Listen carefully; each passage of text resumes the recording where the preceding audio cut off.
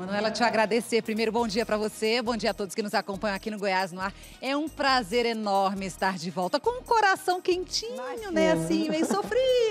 Eu que sei. a gente deixa uma bebê em casa, mas vai dar tudo certo, já está dando, graças Sempre a Deus, dá. né?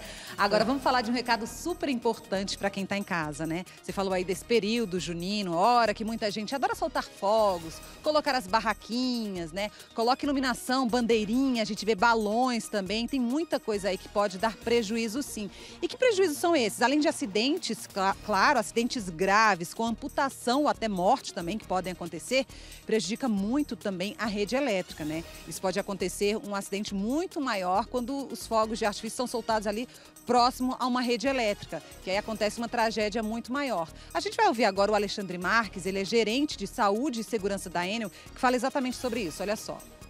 Nunca soltem fogos de artifícios coloquem bandeirinhas, fogueiras e balões próximos da rede elétrica. Isso tudo pode ser é, agravado com rompimentos de condutores, possíveis choques elétricos para aquelas pessoas que estão fazendo esse serviço nas proximidades da rede elétrica.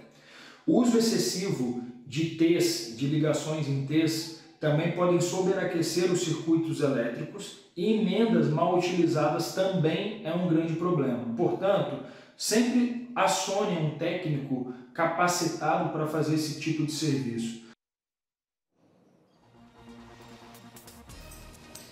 Manuela, são tantos problemas né, em relação aí aos fogos, à decoração, que é bom a gente pontuar alguns aqui, por exemplo.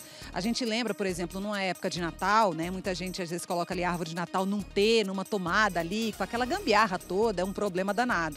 No caso do São João também, tem gente que acaba ligando ali uma iluminação especial, diferente, fazendo uma gambiarra, que também pode trazer riscos, seja em casa, no seu estabelecimento comercial. Então, tem vários problemas que podem causar. A instalação de bandeirinhas próxima a uma área que tem cobre, arame, né? O ideal seria em árvores ou em muro, mas em muro também tem que ficar muito atento, porque se tiver ali um portão, alguma coisa de cobre, de alumínio, que seja um condutor, e aí sim pode causar um acidente. E aí o que fazer num caso de acidente? É isolar a área, não tocar na pessoa que pode estar energizada ali também, não tocar no fio, chamar a Enel. A Enel tem um número, vamos deixar claro aqui para as pessoas anotarem, é o 0800 62 0196, 0800 62 0196. Pessoa pode ligar para a Enel na hora, tem que ligar, né, para que ela chegue até o local, possa cortar ali aquela energia.